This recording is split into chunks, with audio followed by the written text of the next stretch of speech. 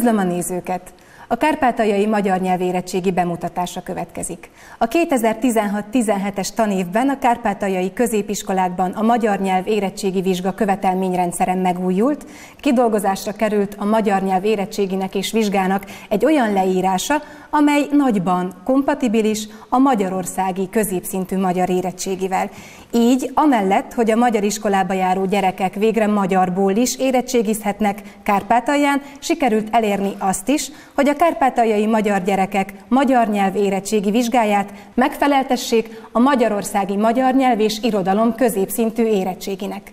A változás egyik fontos célja, amellett, hogy a használható és kurens tudásra alapoz, hogy a kárpátaljai magyar nyelv érettségi és a magyarországi magyar nyelv és irodalom középszintű érettségi valamilyen szinten hasonló legyen, gondolok itt a feladatok felépítésére és a vizsga tartalmára. Ennek köszönhetően Kárpátalja etéren sem lesz lemaradva az anyaországtól és más határon túli régióktól. Az érettségi feladatok kompetencia központú feladatok, szövegértési, szövegalkotási és műalkotási feladatokat tartalmaznak, ugyanis a többség számára az a fontos, hogy hétköznapi szituációkban helyesen tudjanak értelmezni szövegeket, valamint gyakorlati helyzetekben a megfelelő szituációhoz illő szöveget tudják elkészíteni. A középszintű vizsga ezért egy szövegértési feladatot, egy gyakorlati szövegalkotási feladatot, valamint egy műértelmezést tartalmaz. A szövegértési feladatok mindig hétköznapi, főként ismeretterjesztő szövegeken alapulnak ezekhez kapcsolódnak, nem pedig szépirodalmi szövegekhez. A vizsgán egy 100 pont értékű feladatlapot kap a tanuló, és meghatározott idő áll a rendelkezésére ahhoz, hogy ezt a feladatlapot megoldja.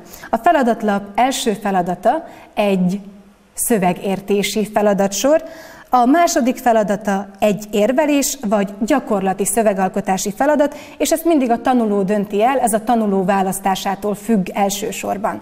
Az érvelés három-öt érvel alátámasztott állásfoglalást kíván maga után valamely közéleti, kulturális vagy életmódbeli kérdésben. A gyakorlati szövegműfaj gyakorlati szöveg alkotására ösztönzi a tanulót megadott műfajban, témában és megadott kommunikációs tényezőkkel. A szöveg műfajai a következők lehetnek. Motivációs levél, hivatalos levelek, gondolok a kérvényre vagy a panaszos levélre. Hozzászólás szövege is lehet megadott műfajként ebben a kosárban, vagy vitaindító szöveg, nyilvános beszéd szövege, például kampánybeszéd, ünnepi beszéd, akár egy ballagási ünnepi beszéd megírása is a feladat megoldása lehet ebben az esetben. Ajánlás, programterv szövege, publicisztikai műfajok, eszé, riport, glossa, valamint az önéletrajz fajtái is lehet a megadott műfajok között. Mindkét választható feladat tartalmazhat rövid, gondolatébresztő szöveget vagy szövegrészletet, ez sosem árt. A feladatlap harmadik feladata az egy műértelmező szövegalkotás, a vizsgázó feladata ebben az esetben egy szép irodalmi stílusú szöveg vagy szövegrészlet problémaközpontú értelmező bemutatása vagy adott szempontú értelmezése. A feladat bázis szövege lehet lírai alkotás, szép prózai mű vagy műrészlet, drámai műrészlet, bármely korszakból és stílusból. Jelen formájában a magyar nyelv érettségi vizsga a kárpátaljai magyar iskolákban azt kívánja mérni, hogy hogyan boldogulnak az érettségizők az anyanyelvükön különböző valós nyelvhasználati szövegértési és szövegalkotási szituációkban. Rendelkeznek-e a megfelelő kommunikatív kompetenciával, valamint képesek-e használni anyanyelvüket a megadott helyzeteknek megfelelően. Ugyanis az anyanyelvben való otthonosság érzése csak így érhető el. Ez az otthonosságérzet, az anyanyelvi magabiztosság pedig egyik elengedhetetlen feltétele az anyanyelv megmaradásának. Az elhangzott információk mellett fontos megemlíteni, hogy a második Rákóczi Ferenc Kárpátaljai Magyar Főiskola magyar nyelv felvételi feladatsora ugyanezt a mintát alapul véve készül, úgyhogy felvételizzetek bátran. Most pedig következzék a feladatsor részletekbe bocsátkozó gyakorlati bemutatása a magyar szakos hallgatóink segítségével. A vizsgán a következő segédeszközöket használhatjátok.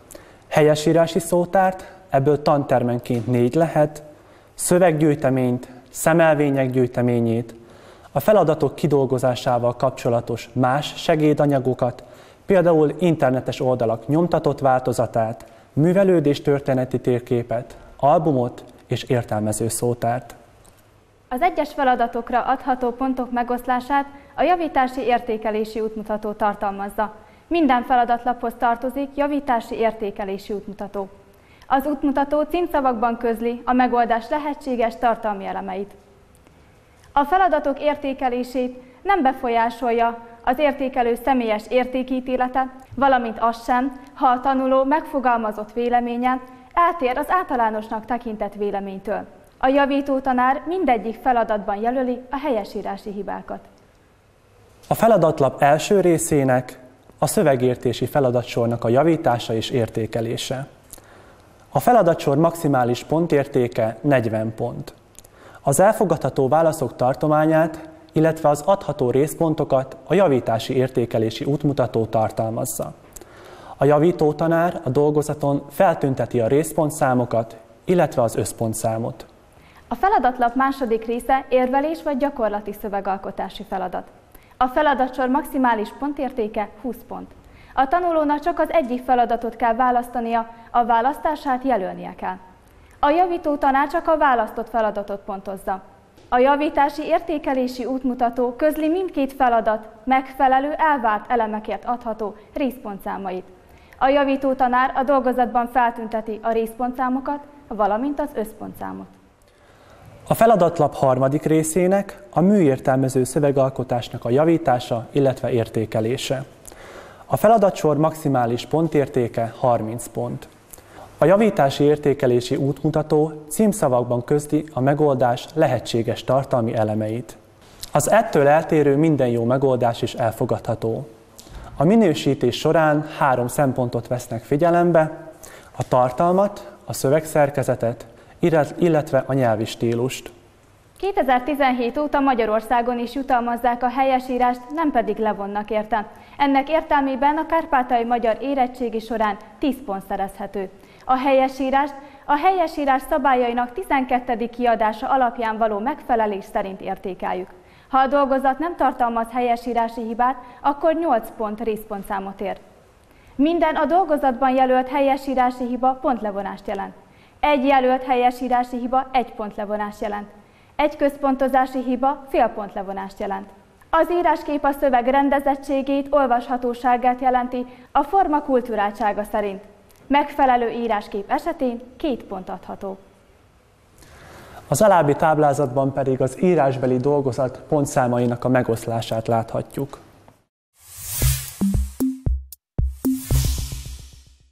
Mai napon a magyar érettségi harmadik feladatával fogunk foglalkozni, amely nem más, mint a műértelmező szövegalkotás. Először is hallgassuk meg figyelmesen a feladat szövegét, amely így hangzik. Elemezze az alábbi verset, értelmezésében térjen ki arra, hogyan vannak jelen a szimbolizmus, mint stílusirányzat jegyei Adi Endre Párizsban járt az ősz című költeményében.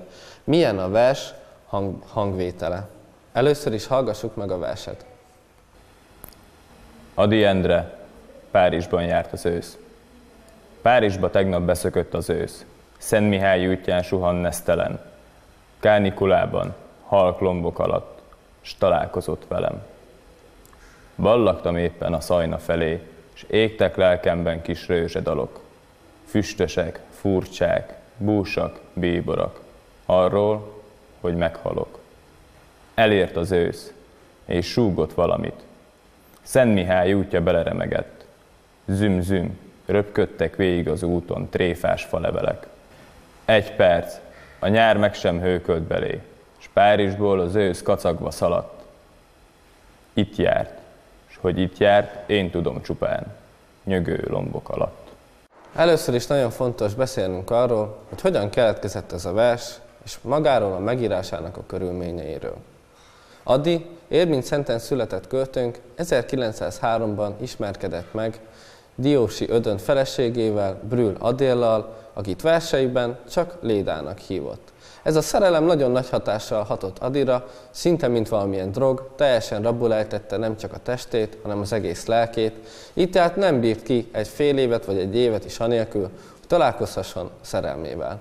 Mivel szerelme férje munkának hála Párizsban tartózkodott, így muszáj volt neki is odautaznia, hogy találkozhassanak. Először 1904-ben utazott hozzá Párizsba, és az elkövetkezendő 7 évben ezen az utazáson kívül még 6-szor járt Párizsban, és nem csak Léda, hanem maga a városnak a környezete, a szimbolizmusa és az életvidámsága is nagy hatással volt költői munkásságára. Az említett verset 1906 ban írta, és 1907-ben jelent meg először nyomtatásban a Vér és Arany című kötetében. Először is a vers első sorával kell foglalkoznunk, ami nem más, mint a cím. A cím ránézése nagyon egyszerű, négy szóból áll, de ebben a négy szóban is nagyon sok minden kivertő. Először is magának a városnak a megnevezése, amely azért fontos, mivel Adi szándékosan nem a magyar helyesírás alapelvét vette figyelembe, hanem magát a francia nyelvet, és ezért szerepel Párizs S-sel, nem pedig Z betűvel. És nagyon fontos megemlítenünk magát az őszt. Az ősz nagybetűvel van írva, mint egy tulajdonnév. Tehát Adi nagyon sok minden tulajdoníthat ebbe ennek az ősznek. Az ősz nem csak Adinál, hanem a világirodalom és a magyar irodalom legtöbb alkotóinál magát az öregedést, az élet elmúlását, a halált szimbolizálja. Tehát a címben az ősz, a halál, elmúlás és az öregedés szimbóluma. Először kitérünk a formai elemekre, amely után sokkal könnyebb lesz számunkra magának a versnek a tartalmi értelmezése. Adi nagyon kedvelte a róla elnevezett Adi 10-es című ritmust, amelynek a ritmus képe így hangzik. Párizsba tegnap beszökött az ősz. Ahogy az ábrán is látható, egy sorban összesen 10 szótag található, amely kétszer 5 szótagra van felosztva, és maga az 5 szótag is ketté van osztva, három szótagra és két szótagra, és ez még egyszer három, illetve kettő szótag. De ez nem mindig van jelen minden egyes sorban, mert néha a két szótagpár kerül, a sor elejére, és a három pedig a sor végére. A rímképet Adi előszeretettel használta a félrímet. Ezt hallgassuk meg, hogyan hangzik. Párizsba tegnap beszökött az ősz. Szent Mihály útján suhan nesztelen. Kánikulában, halklombok alatt, s találkozott velem. Az összecsengő sorvégek. Nesztelen velem. Beszéljünk egy kicsit magáról a vershelyzetről. Ahogy olvassuk az első verszakot és az, utó, az utána lévő hármat, tehát az egész verset, nagyon könnyen megelevenedik a szemünk előtt egy gyönyörű párizsi kép. Nagyon fontos, hogy ez a kép egy őszi tájkép. Ahogy már biztos többen is láthattátok különböző filmekben vagy képeken, a Diadalív alatt és mellette elvezető út maga a Szent Mihály útja, amelyen Adi éppen sétált, amikor ennek a versnek az ötlete megjelent előtte. El, magunk előtt látjuk szinte, hogy a kóbor szellő fújja a fákról már lehullott, elsárgult faleveleket, amik szintén magát az őszt, az elmúlást és a halált jelképezik. Műfaja. Nagyon fontos megjegyeznünk, hogy a vers műfaja sanzon, azaz dal. Ez a vers Adinak a halál versei közé tartozik. A vers főszereplője nem más, mint az ősz. Az ősz jelképezi a halált. De ez a halál nem egy átlagos halál. Ez a halál egy olyan, mintha egy csintalan kisfiú lenne, aki alig vár, hogy valami rosszaságot csináljon. Erre utalnak a következő igék. Beszökött, suhant, kacagva szaladt. Mint tudjuk, a vers megírásakor Adi még nem idős. Akkor miért írna a halálról, az elmúlásról? Itt már tudja, tehát mi is tudjuk, hogy egy súlyos betegségben szenved, ami nem más, mint a vérbaj. Ez a betegség nagyban megpecsételte magát az életét, a halálhoz való viszonyulását és az elkövetkezendő munkásságát. De Adi nem olyan, mint az átlagos ember, mint egy átlagos hétköznapi beregszászi vagy kárpátai ember. Nem fél a haláltól. Ő úgy tekint a halálra, mint egy társ, akivel várja, hogy találkozzon, és szinte olyan, mintha már meg akarna halni ilyen fiatalon. Ez, mint tudjuk, nem következett be, mert Párizsban való tartózkodása alatt szerelme, Léda a férje segítségével meggyőzte Adit, és egy szerelmi, szinte atyai pofon térítette a rendes kerékvágásba ismét, és így szedték rá nagy nehezen a költőt, hogy elmenjen orvoshoz. A négy verszak, ahogy olvassuk és elképzeljük, nem egy hosszú idő lefolyását mutatja a számunkra. Olyan, mintha az egész vers csak egyetlen röpke pillanat lenne, ami bemutatja a költő és az ősz találkozását. Az első és a negyedik verszakban a megszemélyesített ősz gyors, könnyű lépteit látjuk. Párizsba tegnap beszökött az ősz. Szent Mihály útján suhan nesztelen. S Párizsból az ősz kacagva szaladt. Az előbb hallott lendületes mozgás a második és a harmadik vers, verszakban mintha megállt volna. Mintha maga az idő is megállt volna ezekkel a mozgásokkal együtt. Ez az a pillanat, amikor az ősz megsugja a költőnek, hogy itt van. Ballagtam éppen a szajna felé. Elért az ősz, és súgott valamit.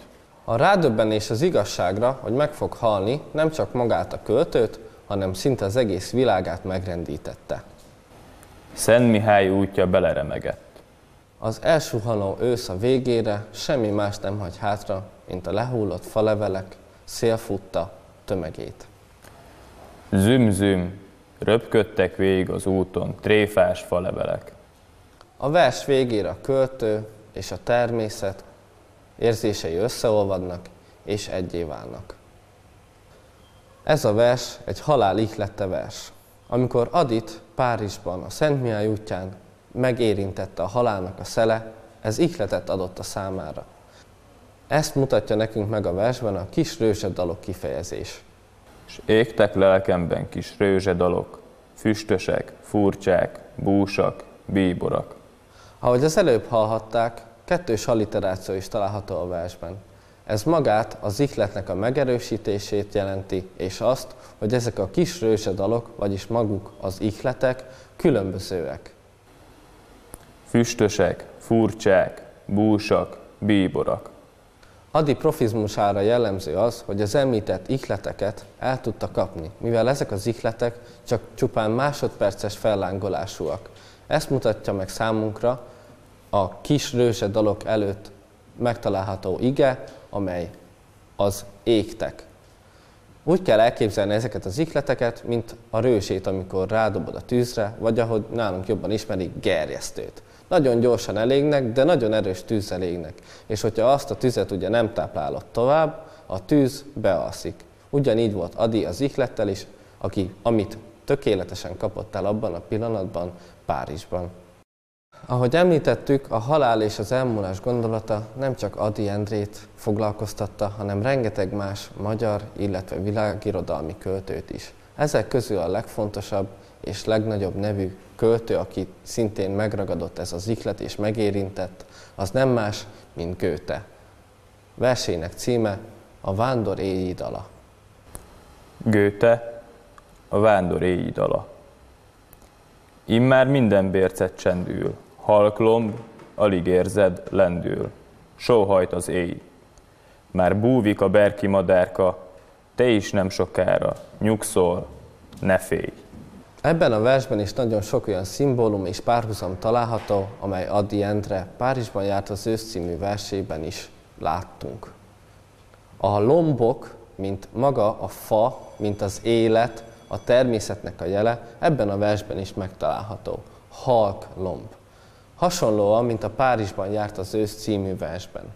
Magában a versben nem találunk pörgős, aktív igéket, csak ilyen passzív, gyenge, lágy igéket, amelyek a következőek. Ül, lendül, sóhajt, búvik, nyugszol. Ül, lendül, sóhajt, búvik, nyugszol. Ahogy Adi Endre Párizsban járt az ősz című versében, a szélről, magáról az őszről beszélünk, és magáról az emberről, halál és az emberi élet. A kettő közt nagyon sok különbség van. Az egyik egy magasztosabb érzés, a másik egy egyszerű, emberi lét sorsa. Ugyanúgy ebben a versben is megtalálhatóak ezek a magasság közötti különbözetek. Maga a bérc, ami a hegytetőt jelenti, és illetve alul búvik a madárka. Ez a kettő nem más, mint az elmúlás és a halál szimbóluma, hogy a magasság és a mélység közötti különbségek könnyen áthitalhatóak magával, a halállal és az elmúlással. És ahogy fő művenkben is hallhattuk és láthattuk, hogy Adi szinte, szinte barátként, társként köszönti az őszt, és egyáltalán nem fél tőle, ugyanezt láthatjuk Goethe költészetében is, amelyre különösen kitér az utolsó két sor a versében. Te is nem sokára, nyugszol, ne félj. Adi Endre költészetében maga a halál, az elmúlás, szinte mondhatjuk, hogy az egyik legfontosabb szerepet játszik. Annyira fontos a költő életében, hogy egy külön versciklus szánt a halál az elmúlás számára. Ez a ciklus a Vér és Arany című kötetben található, amelyben a Párizsban járt az ősz című verse is szerepel. Ezeken kívül még rengeteg halállal kapcsolatos verse szerepel. És Adi, ahogy az előbb beszéltünk róla, szinte barátként várja a halált. Ebben a ciklusban ez tovább is fűzte. A, a halálhoz való kapcsolata, a halálhoz való hozzáállása egy egész más szintre emelkedik a Halál rokona című versben, amelyben már a címből is sejtetjük, hogy szinte nem is baráti, hanem inkább már annál szorosabb, rokoni kapcsolatban áll a halállal. Olyan, mintha felmenőjének vagy leszármazottjának tartaná ebben a versben.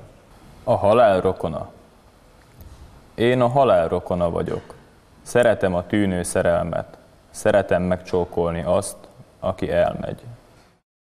Szeretem a beteg rózsákat, hervadva, ha vágynak, a nőket, a sugaras, a bánatos őszidőket. Szeretem a szomorú órák kísértetes, intő hívását, a nagy halál, a szent halál játszimását. Szeretem az elutazókat, sírókat és fölébredőket, s déresős, hideg hajnalon a mezőket.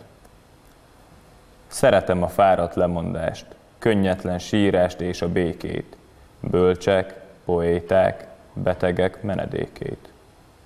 Szeretem azt, aki csalódott, aki rokkant, aki megállott, aki nem hisz, aki borús, a világot. Én a halálrokona vagyok. Szeretem a tűnő szerelmet, szeretem megcsókolni azt, aki elmegy.